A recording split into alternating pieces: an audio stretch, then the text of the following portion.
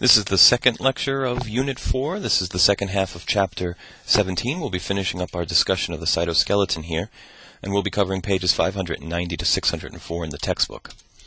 We'll begin today's lecture finishing up the three components of the cytoskeleton. Last lecture we talked about intermediate filaments and microtubules, and in this lecture we'll talk about the actin filaments.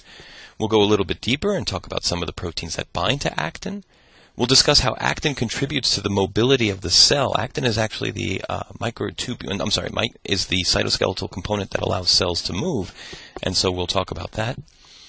The protein that binds to actin, allowing these types of movement, is myosin. So we'll discuss the relationship between myosin and actin proteins, and then we'll wrap the lecture up talking about how myosin and actin work together to allow voluntary muscles to contract. Now, as I already said, actin is the third and smallest of the three components of the cytoskeleton. Actin is found in all eukaryotic cells, and as I alluded to already in the previous slide, if a cell moves, it's due to actin. Actin is responsible for almost every single uh, cellular movement, the movement of a single cell. So without actin, cells could not move. They couldn't crawl along a surface like um, immune system cells do. They couldn't phagocytose certain molecules. They couldn't engulf anything. They couldn't eat anything. Uh, cells couldn't divide after mitosis without actin. Actin is what's responsible for cytokinesis. And so, again, with the small exceptions of flagella and some cilia, which are microtubule dependent, almost all cellular motion depends on actin. Much like microtubules, actin fil- filaments are quite unstable. They are more likely to fall apart than to assemble. Uh, what stabilizes actin filaments is, is not the anchoring points, that was the story for the microtubules, but instead different proteins, accessory proteins that bind to actin filaments. That's what stabilizes actin, stops it from falling apart. Actin plays a role in muscle contraction, and this is why actin is stable in muscle. It's stable because the contractile apparatus, the additional proteins that allow muscle traction, muscle contractions to occur, stabilize the actin filaments in muscle cells. And we'll discuss that later on in this lecture. Now, I don't want to give you the illusion that all actin based structures are transient, are dynamic, fall apart easily. There are many actin based cellular structures that are stiff and they are permanent. Examples of this are the microvilli. You might have heard of microvilli in other classes, especially anatomy and physiology if you've taken that already. Microvilli are these thin, thin finger like projections, especially in the small intestine they increase the surface area of the cell membrane. Uh, they allow cells to absorb nutrients more readily. Microvilli are also uh, involved in sensation in some cases, like in the olfactory cells, uh, the cells that allow us to smell. These microvilli assume this shape because of an actin underlying scaffolding underneath the cell membrane, and those are permanent structures. They are not dynamic. In addition, actin is a member of the cytoskeleton, so there are actin filaments woven through the entire cytoskeleton, and those actins are also permanent. But actin has the ability to be dynamic and temporary. So other structures such as filopodia and lamellipodia, these are the growing extensions of crawling cells. These are actin based and they're very, very transient. They come out and they retract, they come out and they retract. This is the contractile ring that's involved in cytokinesis. This is two cells that have undergone mitosis. They're about to divide, and what pinches one cell into two, what is going to separate these two daughter cells from one another, is a contractile ring made up of actin. And so obviously that's transient as well, because once these two cells have divided, that contractile ring is no longer needed. So whether or not the actin is stable and permanent, or dynamic and temporary depends entirely on these accessory actin binding proteins that bind to and stabilize actin or bind to and disassemble actin. So, as you've probably gathered already, actin and microtubules are quite similar in some of their basic properties, and they are much more similar to each other than either of those two are to intermediate filaments. Intermediate filaments' strength, its specialty was strength, was tensile strength and stability. Both microtubules and actin do not have stability going for them. Their strengths lie in other domains, in other regions. Okay, so let's talk a little bit more about the properties of actin filaments. If you use an electron microscope and you take a close look at a cell that contains a great deal of actin, you can visualize the actin filaments. And they look like thread. They look like very, very thin structures. And in fact, they are. They're only 7 nanometers in diameter. Each individual filament of actin is actually a twisted chain of identical globular actin subunits which have all come together to create a protofilament type structure. So again, very similar to microtubules. And like microtubules, actin filaments have polarity. They have a plus end and they have a minus end. So we can see, much like microtubules, actin filaments are made of globular spherical monomers that come together to create a single strand or fiber filament with polarity. The difference is that these actin filaments are not hollow, and they're not made up of protofilaments lined side by side creating a hollow tube. Instead, it is a smaller number of these protofilaments wrapped around each other, almost braided with one, one another. So actin filaments are not hollow. But they do have polarity. They do have plus and minus ends. They are thinner because of, they're not hollow, so they have a smaller diameter. They're also shorter than microtubules tend to be, and they're much more flexible. Microtubules are like thick cables. They can bend a little bit, but they certainly can't fold in on themselves. Actin filaments are much, much more flexible than a microtubule is. Actin filaments are also much more abundant. Within a cell, the total amount of actin filaments is far, far greater than the total number of microtubules.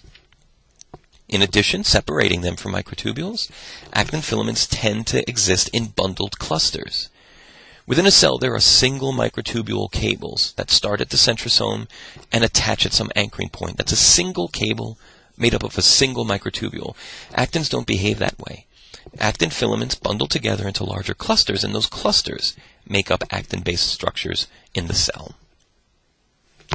So now that we have a better idea of the general nature of an actin filament, let's talk about how we make a filament. How are actin filaments polymerized or strung together?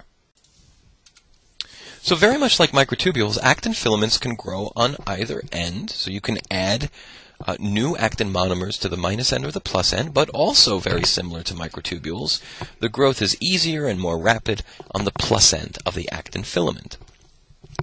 We already alluded to these stabilizing accessory proteins that bind to actin. Without these associated proteins binding to actin filaments, actin filaments become unstable and they disassemble rather easily, and they disassemble from both ends. In fact, each individual actin monomer is bound to ATP. ATP bound actin monomers more easily incorporate into a growing filament of actin. This should sound awfully familiar. Once the actin monomer is part of the filament, the ATP it is carrying is cleaved. Now it contains ADP, and ADP containing monomers have much less affinity for being in the filament. So once an actin monomer contains ADP, the strength of its binding to the filament is reduced, and so we promote disassembly or depolymerization. This is the same exact story we told for microtubules, with the single exception that tubulin subunits bound to GTP and GDP. You can remember for the exam how both microtubules and actin assemble into filaments by remembering this general story and just committing to memory that GTP is specific for tubulin and ATP is specific for actin in any event. Also similar to microtubules and very unlike intermediate filaments, actin filaments are dynamic. They must be dynamic. And so this ease of assembling fibers and this willingness and readiness to disassemble spontaneously, that's not an accident. That is evolved. That's necessary so that actin can carry out the cellular functions for which it is responsible. Is it hugely costly in terms of energy? Absolutely. You burn tons and tons of ATP assembling and disassembling actin filaments. That's a lot of energy that goes into this. But again, it is necessary for actin to do the job that it needs to do. Actin filaments are relatively short lived. They often persist for only a few minutes after they have formed, unless these accessory proteins bind to actin, modify its properties, and cause it to be more stable. About 5% of the total protein in any animal cell is actin. Now let me say that again. 5% of all the protein in a given animal cell is just made up of actin. That's a huge slice of the pie. Think of all the proteins we've talked about this semester. RNA polymerase, DNA polymerase, TATA binding protein, capping enzymes, all the receptors in the cell membrane, all the other pro- proteins of the cytoskeleton. The list can go on and on.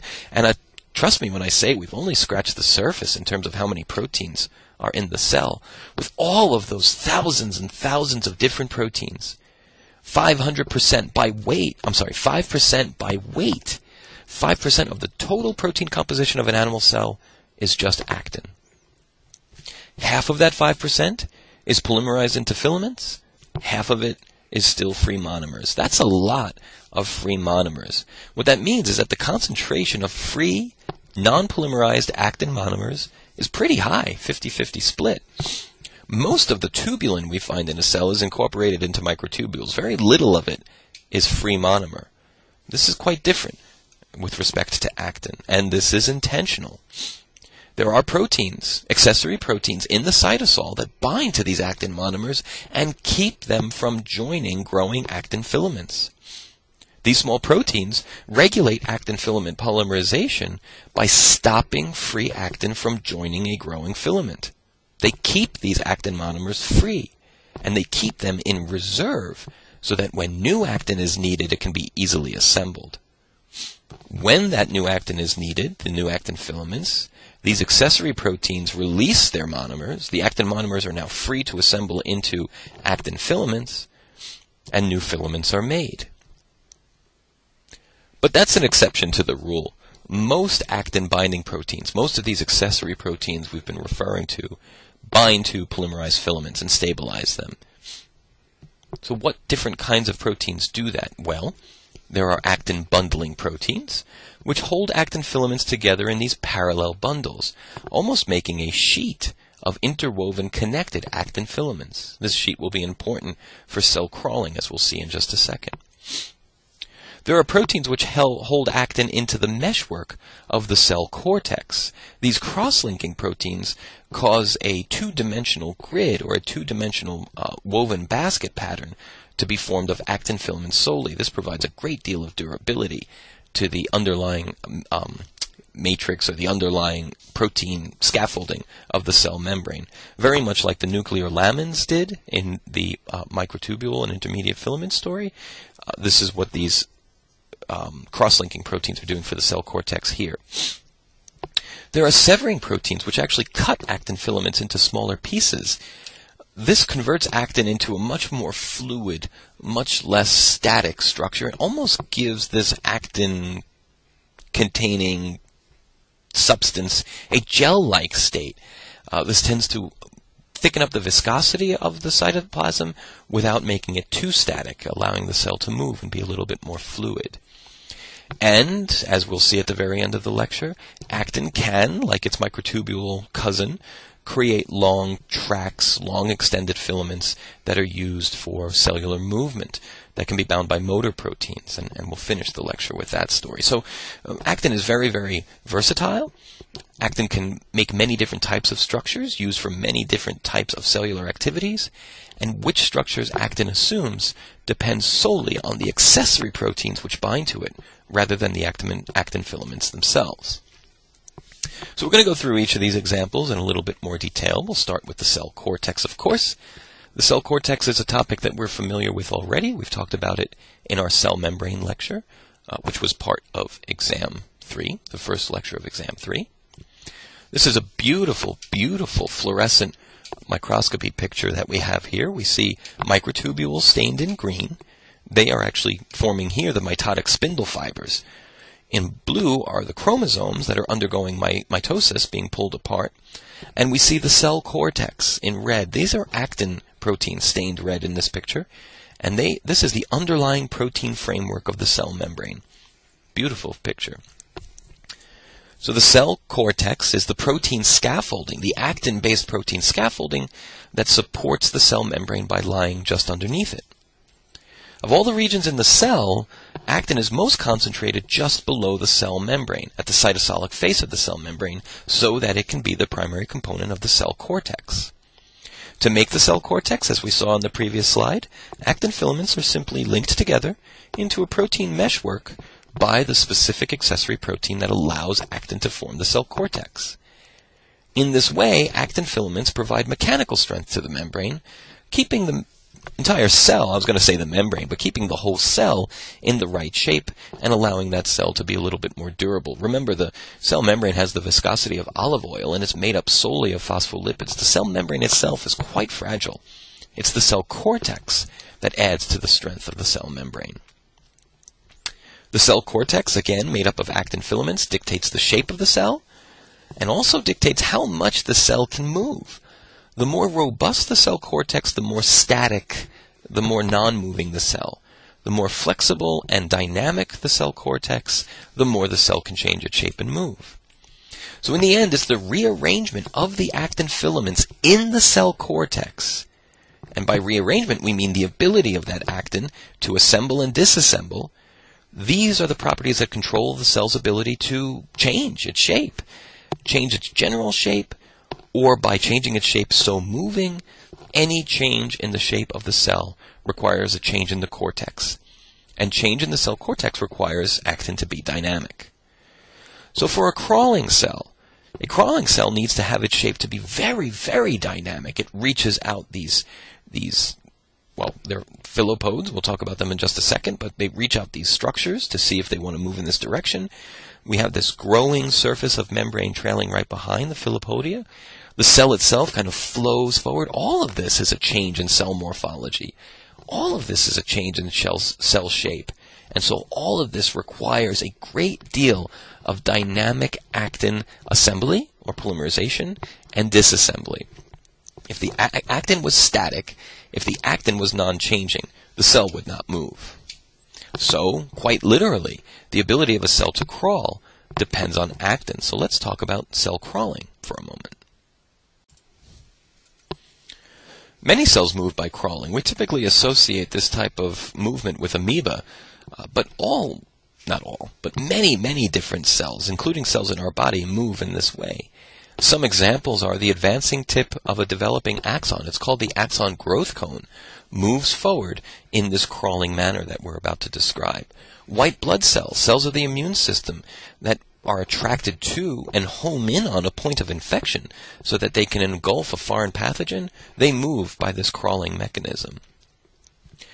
In all of these cases, whether it's a white blood cell, a growth cone of an axon, or even an amoeba, the cells are crawling towards something. They're not moving randomly. They have been triggered to move, they have been triggered to crawl, and they are moving towards a signal. These cells are sensing an environmental signal. They're sensing a signal molecule that has been released from a particular location, and they are following that signal to some destination. They are migrating towards those molecules using their actin. It's important to note where these concepts that we've been covering intersect. These cells are using actin in order to change their shape and crawl towards this molecular signal. So it really is all one big story of how cells work this semester. Cell crawling is a three-step process. First, the cell pushes out the protrusions we've already alluded to, these podia, at the leading edge, at the growing edge, the edge by which the cell is crawling. Then, once those protrusions have been sent out, that cellular membrane needs to adhere to whatever surface the cell is crawling on. That's an anchoring point, an attachment point that keeps the cell from retracting backwards. The third step is that the rest of the cell needs to kind of follow and bring up the rear. So the rest of the cell flows forward to the anchoring point, basically filling in the cell at that advancing front, and then the process repeats. The entire cell has moved up a bit. Now we get these podia reach out, sense that signal, sense where that molecule is coming from, reach out towards that molecule, anchor down so that you don't get retraction, and then the rest of the cell kind of blubs forward and fills in that advancing front. All three of these processes involve actin, but actin is involved in different ways for all three steps. The first step, the reaching out of the cell to sense where the signal is coming from, is driven by the polymerization of new actin filaments. That thin sheet, the advancing front of this crawling surface, uh, is made up of lamellipodia. Lamellipodia are pushed out. They contain a dense meshwork of actin, And the actin is oriented in a polar way. So it's oriented so that most of the filaments have their plus end close to the plasma membrane. So we'll come back to this figure a couple times, but here's a crawling cell. Here's its nucleus. This is the advancing front. So this cell is crawling from left to right, and it's sensing signals that have been released from here. So the cell is crawling towards some signaling molecule that it can sense. The lamellipodia is the thin sheet of the advancing front. It is basically all of the cell that you see here, made up of a dense interwoven meshwork of actin filaments, shown in red, with in general all of their polarity pointing towards the edge of the membrane. The polarity is indicated by these arrowheads pointing towards the plus side. The smaller, thinner protrusions that you see on that figure are filopodia, these are the reaching out fingers that come from the lamellipodia, and they also reach upwards. You can see they're trying to show this in three dimensions, but the fingers not only reach out, they reach up as well. These are the filopodia, these small extensions coming out of the lamellipodia, the advancing sheet of cell membrane. Each filopodia is constructed of actin as well, but actin in a little bit of a different way. Uh, this contains bundled act- actin filaments each filopodia contains a relatively small number of bundled actin filaments, about 10 to 20, as opposed to a dense interwoven sheet of actin that we find in the lamellipodia. The actin in the filopodia are also oriented given their polarity. They have their plus ends pointing outwards, but there's a little bit more organization in the filopodia because the filopodia are these elongated structures. So rather than having an interwoven meshwork of actin, we have bundled actin filaments lying parallel to each other, and again with all of their plus ends pointing towards the tip of the filopodium. Both lamellipodia and filopodia are highly dynamic and constantly changing. A crawling cell will only send out these structures to a region in the cell where it has sensed its signaling molecule, its chemoattractant. And so there are receptors on the cell surface all around the cell. The receptors are specific for the signaling molecule. Wherever on the cell the signaling molecule is most concentrated, that portion of the cell begins to become lamellipodia and filopodia. Actin structures form on that top part of the cell, sending out a thin sheet-like cell membrane structure towards the chemoattractant, and then filopodia reach out a little bit more as well. These lamellipodia and filopodia, made solely of actin, then anchor onto the crawlable surface in the direction that the chemoattractant is coming from.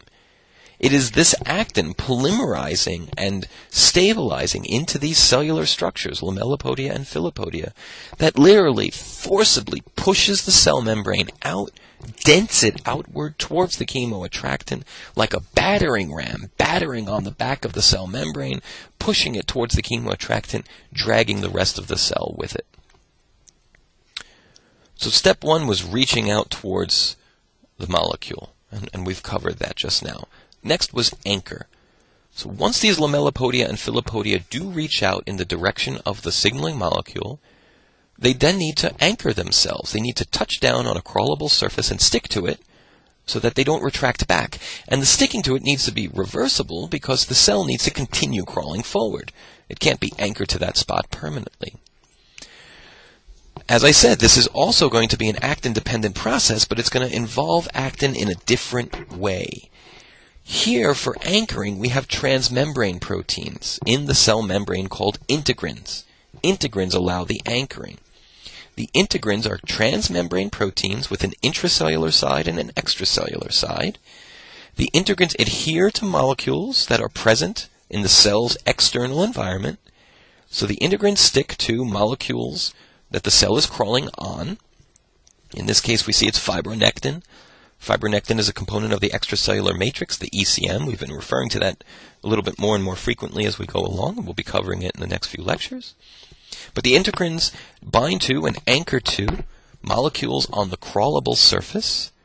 That anchors the cell to the surface on which it's crawling, but these integrins are also anchored inside the cell. Integrins on the intracellular side of the membrane are directly bound to actin filaments. So actin filaments are involved indirectly in the anchoring because the actin filament is bridged to the crawlable surface through integrins. Integrins bridge actin to the surface the cell is crawling on. That explains step two of cell crawling, the anchoring, also actin dependent, but not in bundles and not in sheets as we saw for reaching out lamellipodia and filopodia. Step three is that the cell must flow forward. It must all fill in the advancing front. The cell must pull itself along this surface. This involves contractile forces between actin and the motor protein that binds to and moves along actin called myosin. So step three involves actin as an actin myosin movement, contraction, and that's what squeezes the cell forward. So before we talk about myosin, because that's going to lead us directly into muscle contraction, and that's what we want to end with, let's talk a little bit more about signals from the outside world affecting and controlling the arrangement of actin in the cell, because that's really what cell crawling is. External signaling molecules binding to cellular receptors, not only changing the physiology of the cell, but causing the cell to move, causing the cell's actin to rearrange. So let's discuss that before we move on to contractile forces and myosin. So hopefully at this point we can appreciate the fact that although myosin, which we haven't really formally defined yet, but we've alluded to, although myosin and other actin binding proteins regulate the structures that actin takes and the behavior it can be responsible for, everything in the cell is responding to extracellular cues. Right? The actin is dynamic because of extracellular cues. The cell might be moving because of extracellular cues. We've referred to extracellular cues in earlier lectures and other effects it can have on a cell.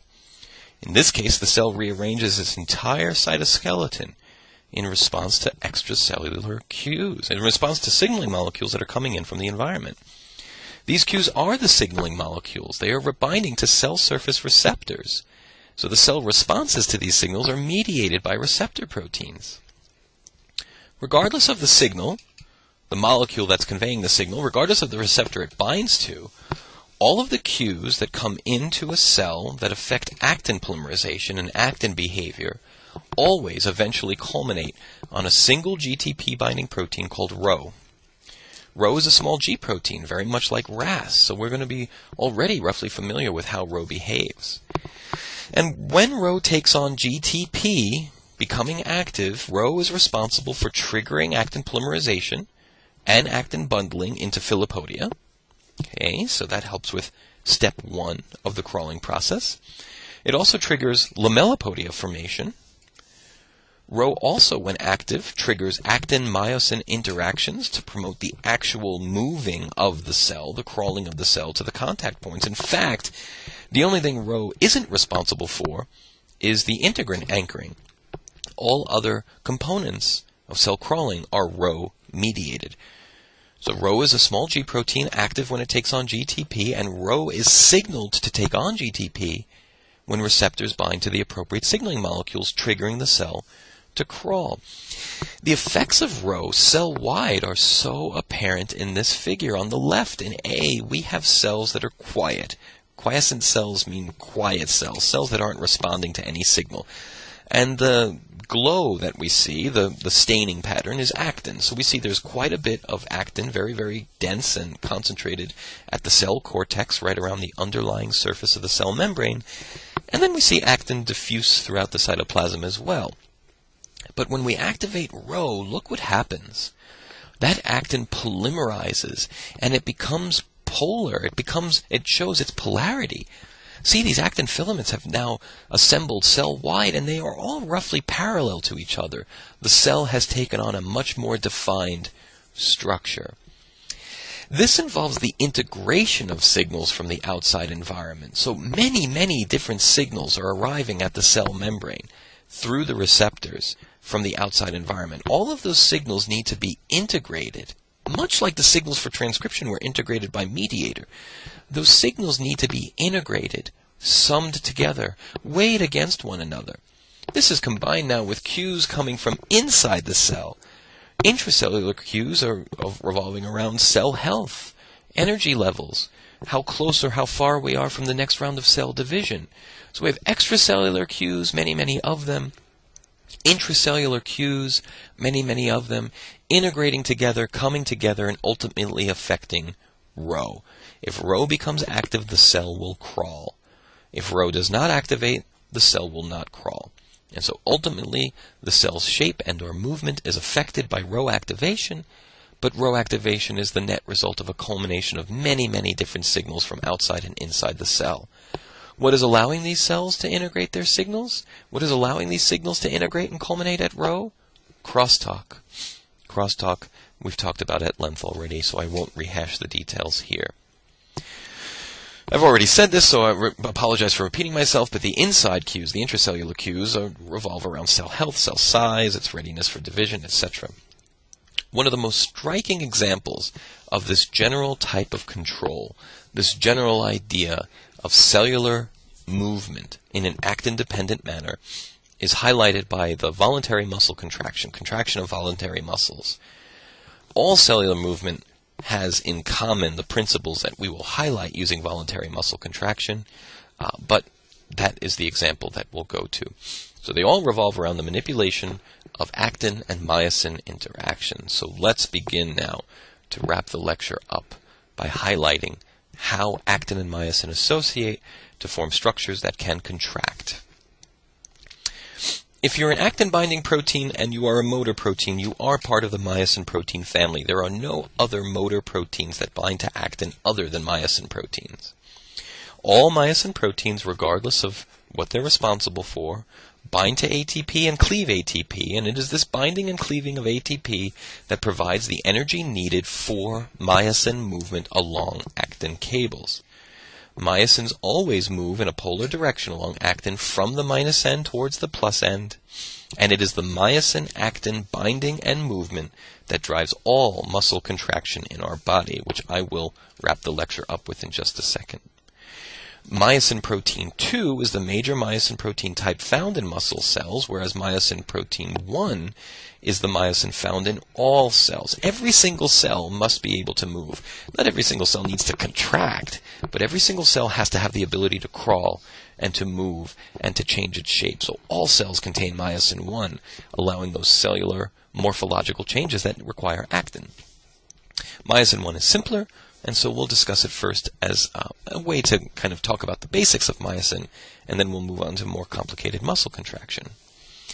Myosin 1, as well as myosin 2, but myosin 1 is made up of a head domain and a tail domain. We've seen this idea before. The head domain is the domain that binds to the actin filament as well as bind to and cleave ATP. So most of the nuts and bolts operations of myosin occur in the head domain. The tail domains differ between individual proteins of myosin, but it's the tail that determines what the myosin protein will bind to. Is it binding to a vesicle and transporting cargo? Is it binding to the cell membrane and causing the cell to crawl? So, highlighted in this schematic, I think this shows it best. Whoops, sorry. We have the actin filament here. Actin filament, the head region of myosin binds to the actin filament, also responsible for the movement and the ATP cleavage. The tail region of the myosin film of the myosin protein binds to whatever it is the myosin is trying to move. If it's trying to transport a vesicle, the tail region will bind to that. If the myosin is trying to move the cell itself, well, what the myosin tail wants to bind to is the cell membrane. By pulling on the cell membrane, you cause the cell to move, to crawl. And so whatever is being moved by myosin is what the tail interacts with. Interestingly, myosin is quite simple in its general structure and movement. It actually behaves very much like an, a human arm or, or any uh, joint, pivotal joint.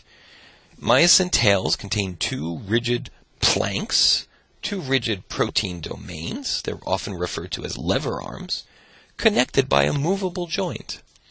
It is this movable joint that, when it moves, pivots these two rigid planks relative to one another, and that movement only occurs when the ATP is hydrolyzed, releasing energy. So when ATP is hydrolyzed, the lever arm, one of those planks, protrudes straight out from the head domain of myosin. So we might see that right here in this structure. Here's the head domain in, lev- in yellow, and this lever arm, this tail, is protruding generally straight out of that head group. But when the ATP is hydrolyzed, or after it's hydrolyzed and it's been converted into ADP, the lever arm rotates. It rotates almost 90 degrees and it bends. So now the head domain and the lever arm, the head domain and the tail, are in a different configuration, not so much straight, but bent. That's the movement that myosin is responsible for. Now, this is a fairly complicated process, so ATP hydrolysis has another effect as well. The binding of ATP itself significantly decreases myosin's ability to bind to actin. However, when that ATP is hydrolyzed and, and, myosin is bound to ADP, its affinity for actin goes way, way up, and the myosin protein rebinds to the actin filament. We're going to end this explanation and end this lecture, in fact, with this idea of a bind, pull, release mechanism of motion. And it is the binding and release due to ATP and ADP binding by myosin that al- allows both the binding and releasing of myosin and the pulling, of course, of the movement of the lever arm. But we'll explain all that in just a second.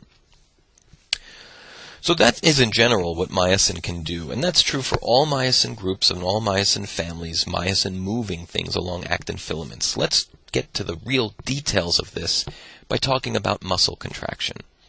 In muscle, myosin and actin work together for the contraction of muscle fibers. Voluntary muscle, these are the skeletal muscles that we can control with our thoughts, with our wishes are striated. These are called the striated muscles. And they're called striated because, under the microscope, they are just that. They are striped or striated. The smallest functional unit of muscle is called the sarcomere. So let's get an idea of what that is. We see here a single muscle fiber. Muscle fibers are bundled together to make muscle tissue, but this is a single muscle fiber. A muscle fiber is itself a bundle of myofibrils, that are clustered together by a plasma membrane. The myofibrils are made up of individual sarcomeres linked end to end. One sarcomere, two sarcomeres, three, four, five, six. These sarcomeres come together to make a single myofibril. Myofibrils are bundled together to make a muscle fiber. Muscle fibers are bundled together to make a muscle, a tendon, a ligament, etc. A single sarcomere is striated, giving the muscle itself this striped appearance. We see regions that are very, very light, regions that are darker or denser, and then densest regions in the middle. This banding or intensity pattern of a sarcomere actually is so because it illustrates the functional nature of muscle. You see, muscle contractions are achieved when thin filaments that we see here slide along and integrate or interlock into thick filaments, which we see here. So we can kind of parse out this sarcomere. This is a true micrograph of a sarcomere. We can parse it out and see that the thick filaments are here in the center, making up this darker pattern. The thin filaments are so thin that we can hardly see them, so they make up the lighter pattern on the ends of the sarcomere. In the middle, where it's darkest, it's actually darkest because this is the only region where the thin and thick are together or interlocked, making it even darker than the thick filaments itself. To put this into the context of the cytoskeleton, these thin filaments are actin only. The thick filaments are myosin, and the thickest or darkest pattern of the sarcomere is where both actin and myosin have interlocked. Very interesting, I think. Let's talk a little bit more about the thick filaments, however, so we can kind of wrap our mind around it. A single myosin 2 protein is actually composed of two individual myosin monomers that have been bundled and twisted together. So this is a single myosin 2 protein. The thick filament are many, many, many single myosin 2 molecules bundled together as well. So you see that here, I hope. Each of these little blips is a myosin 2, and they have been braided and interlocked together to make this thick filament. The thick filament is in the center of the sarcomere, just as we see here, made up of many, many, many myosin 2 molecules, individual myosin 2 molecules. And the actin filaments, the thinnest filaments, are here on the ends of the sarcomere. So to bring this picture back, now we have some relevance. The end of the sarcomere is represented here by these Z discs. The faintest part of the sarcomere is just actin filaments. In the center, we have these thick filaments made up of nothing more than myosin 2 bundles, and where they are darkest is where the myosin and the actin both exist. When this sarcomere is relaxed, most of the actin has pulled away from the myosin. When this muscle contracts, the myosin is drawn inward. That's the contraction. And the entire sarcomere reduces its width. It squinches. It contracts to take up a smaller size. This is the true sarcomere. If you remember from that myofibril figure I showed a little while ago, I'll zip right back to that. The myofibril is actually a cylinder, it's rounded, so the true sarcomere actually exists in this shape. But we have in red the thick filaments of myosin, in blue is the actin filaments. This is the relaxed muscle, so there's quite a bit of actin not associated with myosin. But then for the contraction, the myosin draws the actin filaments inward, squeezing the sarcomere down to a smaller width. That is the contracted muscle, tight muscle, made smaller, contracted. So to recap in text, the thick filaments are actually nothing more than individual myosin II molecules self-assembled and intertwined into a thick bundle of myosin that have head domains all throughout them. So a little bit different than the figure I showed before, but this is a very good representation of a thick myosin filament. Individual myosin molecules shown here with their head regions poking out, bundled and twisted together to make a thick filament. In fact, this is exactly what myosin thick filaments look like under an electron microscope. This is a real photograph of a myosin thick filament, and compare it to the schematic. You can definitely see the similarity in structure. On each thick filament of myosin, there are about 500 individual head domains. Each head-rich region on both ends is associated with two actin filaments each, one above and one below. And so again, we have thick filaments in the center associated with thin actin filaments on either side. Each individual head domain interacts with an actin filament and provides the force for pulling that actin filament inward, sliding the actin inward, contracting and squeezing the sarcomere. So this is the released sarcomere, the relaxed form, thick filament in the center. Here's all your myosin heads, actin filaments on the end. And then the actin filament is bound by myosin. Myosin binds to that filament and pulls in, binds it and pulls in, binds it and pulls in, pulling those actin, actin filaments towards the center of the sarcomere, squeezing or contracting the sarcomere itself, contracting the muscle. This is exactly what's happening. This is probably the best way to show it. I hope that this animation is visible on Tegrity. I'll take a look after I finish uploading the lecture to make sure that it captures it. But let me show that again if I can. We have the thick myosin filaments in the center, the actin filaments in red, and as those myosin heads bind to actin and pull, bind to actin and pull, bind to actin and pull, those actin filaments are being pulled towards the center of the sarcomere, and the width of the sarcomere decreases. That is the muscle contraction. So, how does ATP figure into all of this? Remember, this is all ATP dependent. Well, if we add ATP to a solution of myosin and actin, what we see is that the myosin releases all the actin. It lets go of all the actin. The actin filaments dissociate from the myosin, and that supports the idea that we said before, which is that myosin bound to ATP has a decreased affinity for binding to actin. But it makes no sense whatsoever when considering how is this an ATP dependent process myosin has to bind to the actin to pull it in towards the center of the sarcomere, yet when we provide the energy, all myosin does is let go of the actin. So that implies that actin uh, ATP hydrolysis alone can't directly be powering the movement of myosin on actin. Certainly, myosin binding and pulling on actin requires energy, but ATP hydrolysis alone can't be solely responsible because when we add ATP, myosin lets go of actin doesn't bind it and pull it. So what's going on here? Well, what's going on is kind of an indirect movement that allows the bind, pull, release mechanism. When ATP binds to a myosin head, the myosin head lets go of actin, as shown here. In addition, when ATP binds to myosin, that lever arm straightens back to its original conformation. So we let go of actin and we move our lever arm. We let go of actin and move the lever arm. Then, then, the ATP is hydrolyzed. The ATP is hydrolyzed to ADP. Okay. the phosphate that we cut off, going from adenosine triphosphate to adenosine diphosphate, that phosphate that we cut off is still in the myosin head, but it has been separated. So the myosin is now bound to ADP and a free phosphate. Once that ATP has been hydrolyzed and the myosin is bound to ADP, the affinity for actin has gone up, so the myosin head rebinds to actin. Lastly, when the phosphate, the free phosphate that we just cut off of ATP is released, that causes the lever arm to shift backwards, moving the myosin filament relative to the actin filament, or moving actin relative to myosin is probably the better way to say it.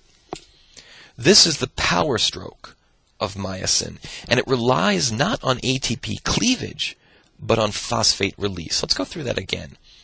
We start with just ADP, a static myosin bound to actin. That myosin lets go of ADP and takes on ATP. Once ATP is bound, two things happen. Myosin lets go of actin and the lever arm shifts forward. Now the ATP is cleaved to ADP and the extra phosphate that was just cut off. That causes the myosin head to rebind to actin.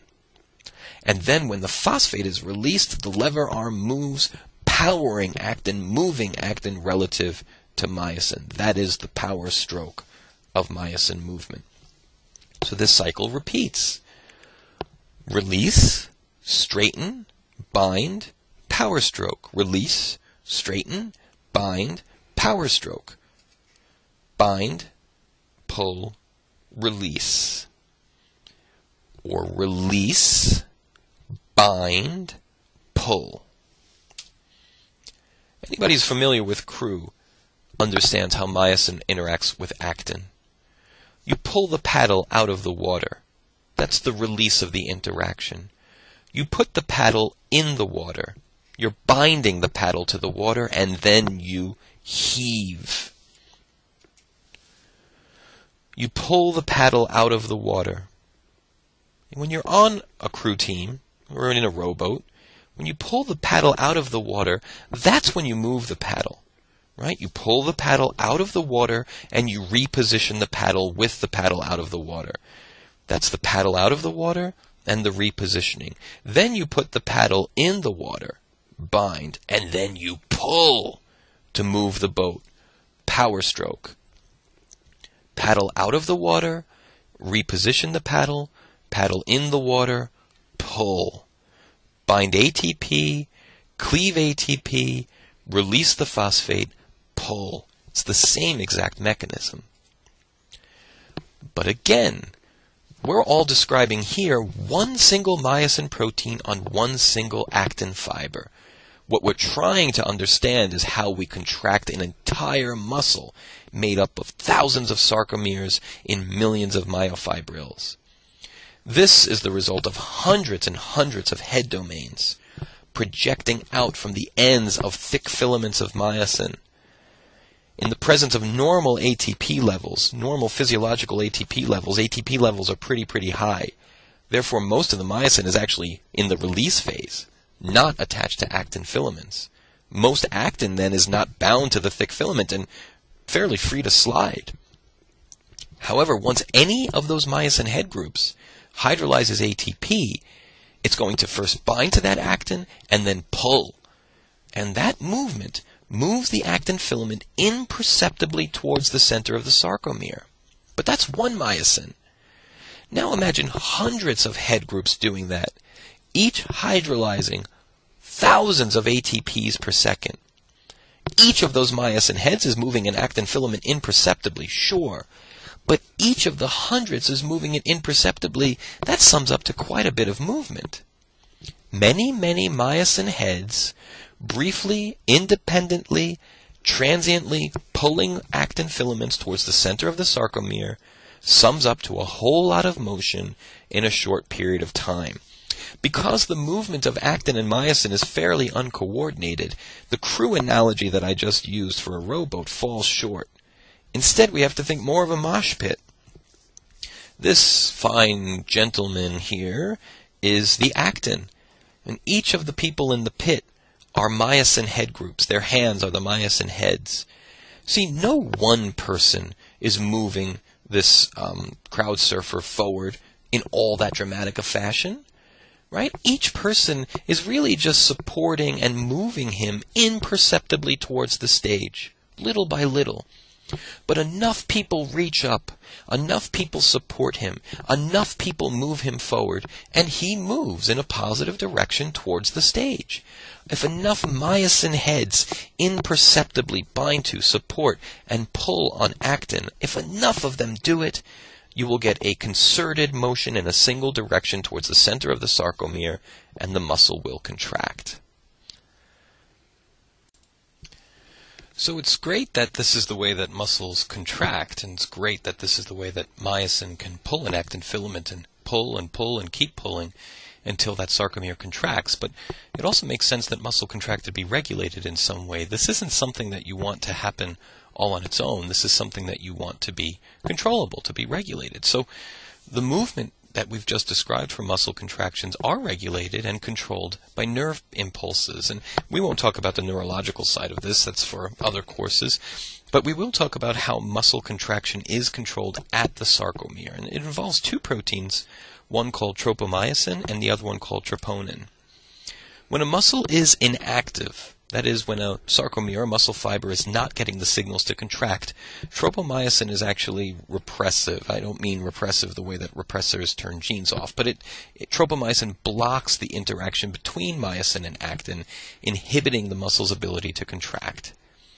When a muscle fiber gets hit with a nerve impulse, when a muscle fiber is excited or triggered by a nerve impulse arriving at it, the main result in that is that calcium is released in the muscle fiber.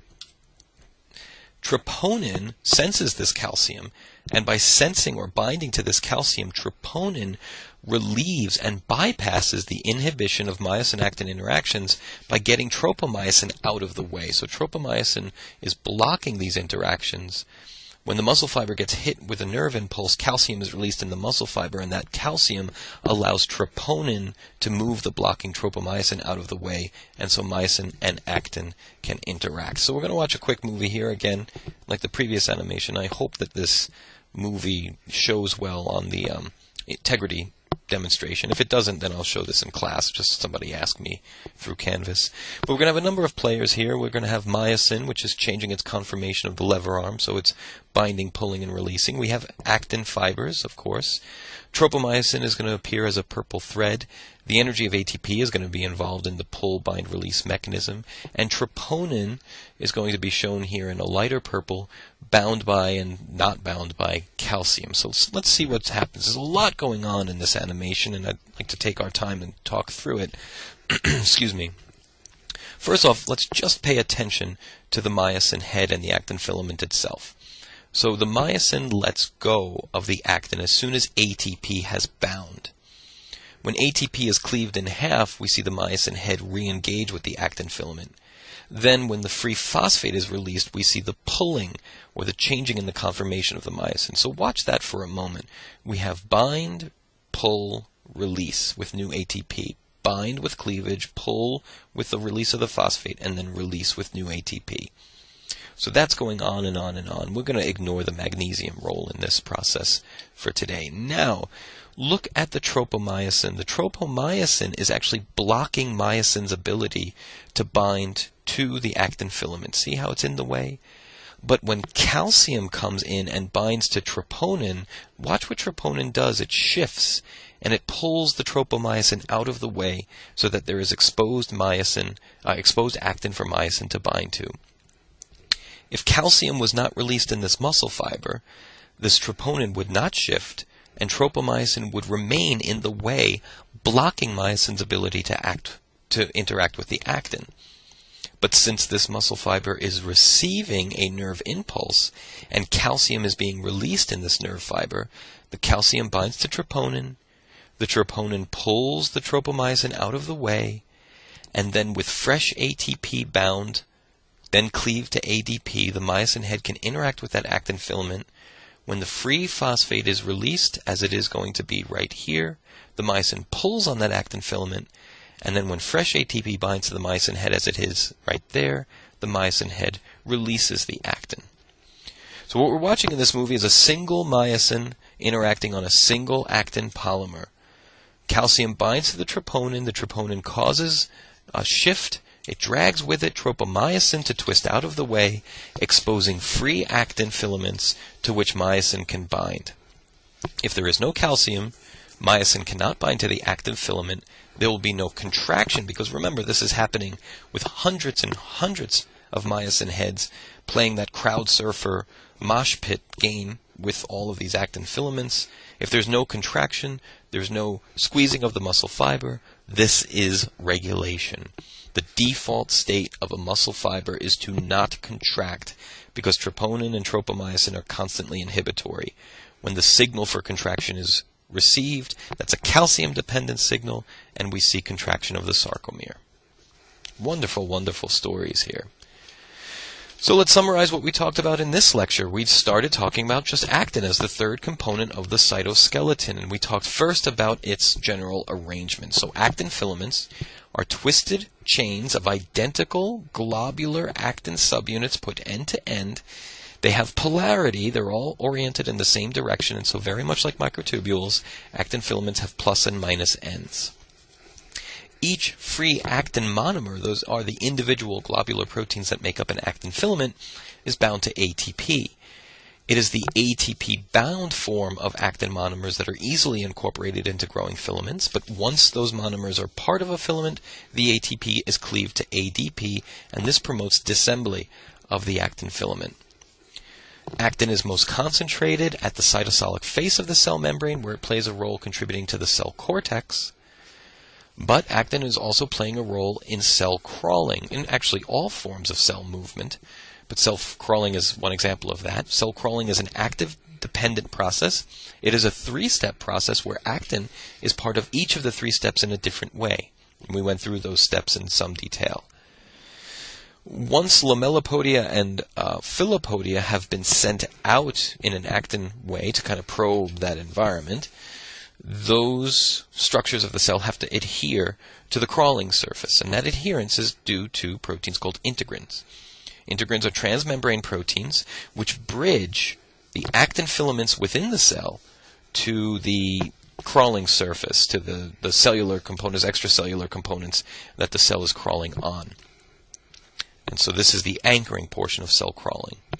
Then, using myosin to drive cell movement in an actin dependent way, the whole cell flows forward to those adhesion points, and that is how cells crawl. But we didn't leave myosin at that part of the story. We continue talking about myosin. We talked about myosin interacting with actin filaments. So when ATP binds to a myosin head, that's actually uh, a release signal. Myosin lets go of actin when ATP is bound. ATP binding also causes the myosin lever arm, that tail, to re-straighten and recycle back to its original position. Then we have ATP hydrolysis. When ATP is hydrolyzed, two things happen. First, myosin binds to the actin filament, and then with the release of that phosphate, we get movement of the lever arm. That's the power stroke of actin movement. We took those concepts and applied them to muscle cells, to muscle contractions. We defined a myofibril as part of a muscle fiber. We talked about the sarcomere, the thick filaments and thin filaments of the sarcomere, and we saw how in muscle hundreds and hundreds of myosin heads all doing this power stroke sum up to a lot of motion and serve to drag those actin filaments in towards the center of the sarcomere, causing muscle contraction. And we ended the lecture with some brief background on the control of muscle contractions, troponin, tropomyosin, and the relief of that inhibition through uh, calcium, calcium released as a result of a nerve impulse arriving at the muscle fiber. So that's the conclusion of the cytoskeleton material. It's also the end of lecture two for this unit. We have four more lectures to go in which we'll be covering two more chapters. We'll introduce some pretty heavy duty cellular concepts of the cell cycle with our next chapter and um, cover the cell cycle in a total of two chapters. But before we do that, we'll certainly cover this material in our next in class meeting.